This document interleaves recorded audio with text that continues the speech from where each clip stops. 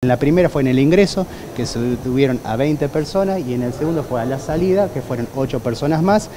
rescatando también que dentro de esas personas estaban las que tiraron la bomba anoche y una de las que, que tiró la bomba el, el partido anterior. ¿La bomba de anoche se arrojó desde adentro del estadio o desde afuera hacia adentro? Tengo entendido que se arrojó desde adentro y por eso nosotros lo que vamos a seguir haciendo es seguir intensificando los operativos, seguir intensificando la requisa, especialmente eh, en las inmediaciones y eh, los distintos lugares que tiene el estadio en sí, porque realmente estamos convencidos que ayer se hizo un muy buen trabajo de requisa, pero bueno, es evidentemente que la siguen que siguen entrando las bombas. La tiene que ver hoy por hoy, eh, lo que nosotros tenemos entendido que va netamente por lo deportivo para tratar de ganarle Nosotros lo que decimos y fuimos muy claros, nosotros no vamos a permitir la convivencia de dos barras, o sea, porque eso nos, obliga a nosotros a hacer un operativo del operativo en sí. La verdad que, eh, como en todos los estadios, el, lugar que, del paravalancha y históricamente que se usó en Colón tiene que ver con la, la tribuna norte. Y la verdad que para nosotros decíamos muchas veces,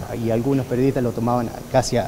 en broma, por decir, como si amigablemente se iban a, acercar o iban a charlar entre ellos, pero nosotros estamos convencidos que ese es el lugar que tienen. Que la disputa, obviamente, que si realmente tanto quieren al club o lo, que consensúen un lugar, evidentemente es muy difícil, pero nosotros en eso también vamos a ser inflexibles. ¿Los van sobre la tribuna norte o sobre la barra La Negrada y no, por ejemplo, sobre la barra Los de Siempre, teniendo, por ejemplo, eh, lo que ha sucedido en la semana, que fue el ataque en una de las manzanas del barrio Fonavi? Porque tiene que ver con un correlato de lo que nosotros veníamos trabajando 2015-2019, te decía, la última etapa de nuestra gestión ya estaba en nuestro problema y nosotros nos enfocábamos directamente hacia un grupo la verdad que también eh, hay decirle, la, realidad es que, no con esto que estamos queriendo decir, que la, barra que, se, ocupa la, Popular Norte, no, o sea, nos relajamos ni mucho menos, o sea, los chequeos, si ustedes son gente de cancha, ven que los chequeos y, y el Tribuna Segura sigue siendo exhaustivo y para nosotros ese es el objetivo, realmente que cada persona que ingresa a un estadio en la provincia de Santa Fe